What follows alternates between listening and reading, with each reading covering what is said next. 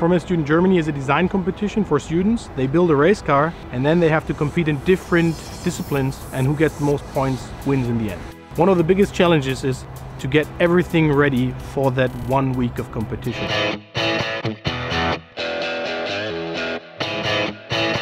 What you see in class, usually you don't apply at school. Now you have a very good chance to get your hands dirty. It's very important all the uh, key members uh, learn MATLAB uh, because that's what we use a lot.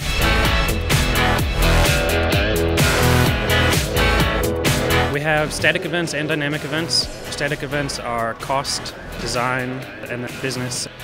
We have a skid pad, which is basically a figure eight, acceleration from 0 to 75 meters, an autocross, and an endurance event, which is 22 kilometers long.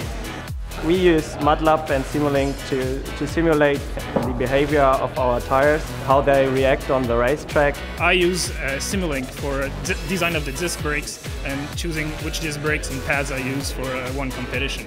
I use MATLAB and Simulink primarily focused on the suspension design and vehicle dynamics. The design of the wings was based upon a DOE, a design of experiments, and then another optimization study using MATLAB and Simulink to apply external loads to our vehicle in another simulation environment.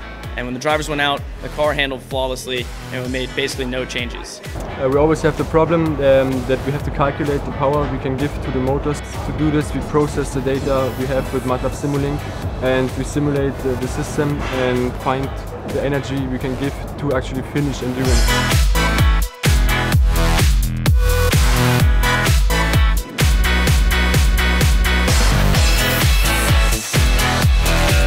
One of the most difficult event is uh, the wet skid pad because we have to set up the car for wet conditions. When we go testing uh, outside, we gather a lot of data and we use MATLAB to, to sort data very quickly, very efficiently.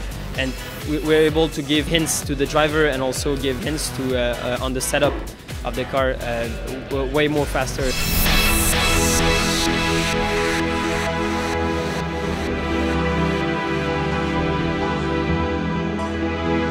MATLAB and Simulink, we were able to start off with looking at the simplified vehicle model. So something you're just writing in a simple, you know, one-page Simulink block, and then from there we can tie it into other commercial softwares that are representing our full vehicle, and we can set up DOEs, optimizations, and basically run through our entire vehicle virtually before it even exists in CAD. MATLAB Simulink was for us very important because the simulation abilities of the software is incredible we can do complex simulation or just on the corner simulation for some idea we have. It's really fast, it's really efficient, and it's really easy to use. MATLAB and Simulink comes first in our design process. Just great experience to build your own race car and have it and be able to drive it. In the end, it is about the fun in, it, in doing it.